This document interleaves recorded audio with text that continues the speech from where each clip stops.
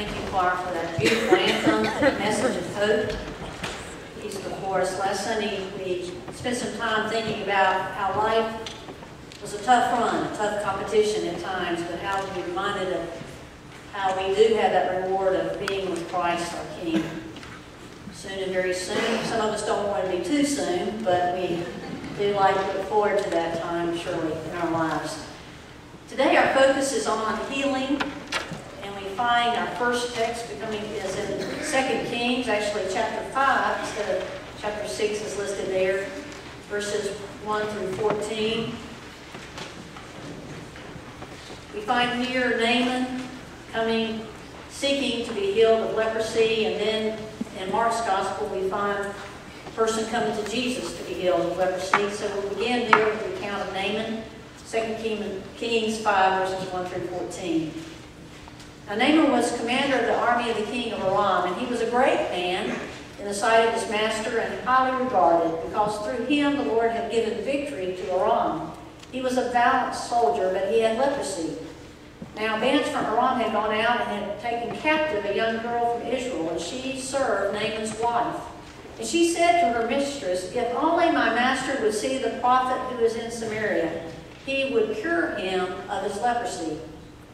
So Naaman went to his master and told him what the girl from Israel had said. And the king said, By all means go.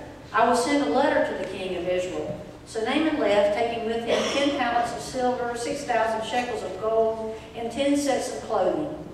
The letter that he took to the king of Israel read, With this letter I am sending my servant Naaman to you, so that you may cure him of his leprosy. Well, as soon as the king of Israel read the letter, he tore his robes and said, Am I God? Can I kill and bring back to life?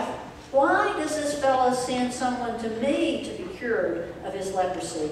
See how he is trying to pick a quarrel with me. So when Elijah, the man of God, heard that the king of Israel had torn his robes, he sent him this message. Why are you, why have you torn your robes? Have the man, have the man come to me, and he will know that there is a prophet in Israel. So Naaman went with his horses and chariots and stopped at the door of Elijah's house. And Elisha sent a messenger to say to him, Go, wash yourself seven times in the Jordan, and your flesh will be restored, and you will be cleansed. But Naaman went away angry and said, I thought that he would surely come out to me and stand and call on the name of the Lord, wave his hand over the spot, and cure me of my leprosy. Are not Abana and Pharpar, the rivers of Damascus, better than any of the waters of Israel? Couldn't I wash in them and be cleansed? So he turned and went off in rage. Naaman's servants went to him and said, My father, if the prophet had told you to do some great thing, would you not have done it? How much more then when he tells you, Wash and be cleansed? So he went down and dipped himself in the Jordan seven times, as the man of God had told him, and his flesh was restored and became clean like that of a young boy. Then Naaman and all his attendants went back to the man of God. He stood before him and said, now I know that there is no God in all the world except in Israel. Please accept now a gift from your servant. And then in Mark's Gospel, we found the account of Jesus and a man with leprosy. Here on the back of your worship bulletin, you may want follow. Beginning in verse 40, a man with leprosy came to him and begged him on his knees, If you are willing, you can make me clean. Filled with compassion, Jesus reached out his hand and touched the man, and he says, I am willing, he said, be clean. And immediately the leprosy left him, and he was cured. Jesus sent him away at once with a strong warning. See that you don't tell this to anyone, but go show yourself to the priest and offer the sacrifices that Moses commanded for your cleansing as a testimony to them.